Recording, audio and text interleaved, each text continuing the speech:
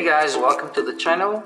Today I will show you how to program a S4 Sherlotronics 4 channel code hopping transmitter. Uh, can transmit over 1.5 kilometers onto a Sherlotronics RX1 500 single channel code hopping receiver. Let's get into it.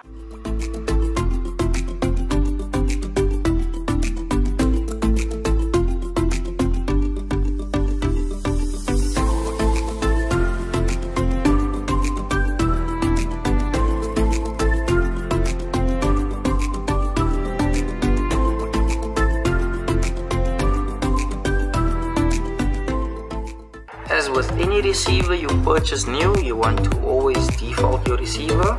I'll take you through that procedure now. Device must be powered on. You'll press and hold the learn button. Once the receiver gives a long beep, it's been cleared. Go off the button.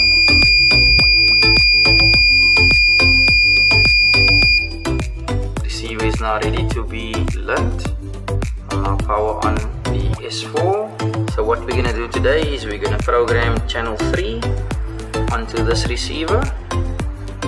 So we'll press the advance button until we get to channel 3 we'll put the receiver in learn mode and we'll transmit from the transmitter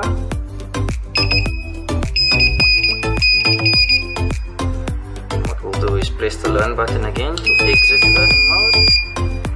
Let's test it out by pressing the transmit button. Receiver confirms and the transmitter has been learned in on the receiver.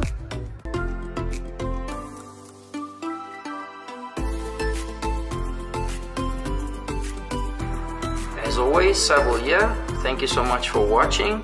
Please like, share and subscribe to the channel please go check out my other videos. And leave me a comment. Leave me a comment below on future videos and I'll catch you next time